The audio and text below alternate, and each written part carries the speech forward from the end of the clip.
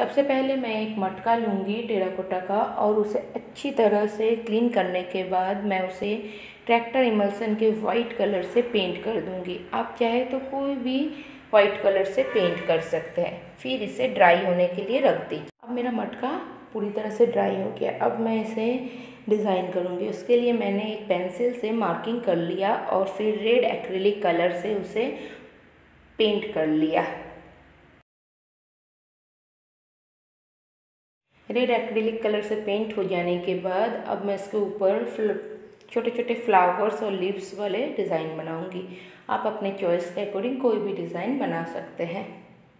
Red and white का combination अच्छा लगता है, इसलिए मैंने ये रेड एंड वाइट का कॉम्बिनेशन लिया है।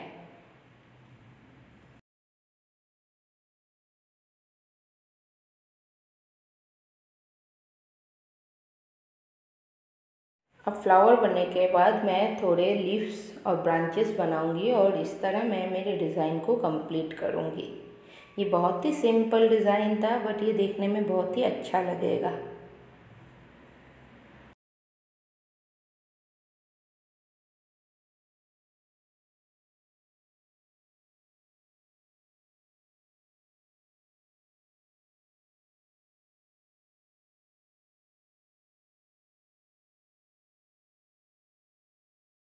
ये देखिए, जब आपका डिज़ाइन कंप्लीट हो जाए तो ये ऐसा दिखेगा अब हमारा मटका रेडी हो गया है। अब मैं इसे डिज़ाइन करूँगी कि मैं किस तरह इसे अपने घर के कॉर्नर में डेकोरेट कर सकती हूँ।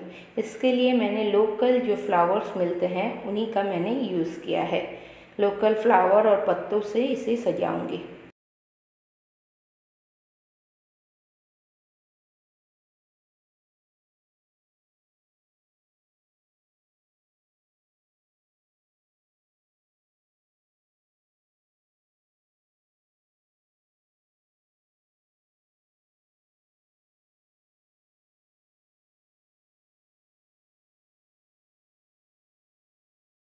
और इस तरह मैंने गेंदे के फूल देन फिरंगी पानी, गुलाब, इन सबसे मैंने ये अपने कॉर्नर को सजाया।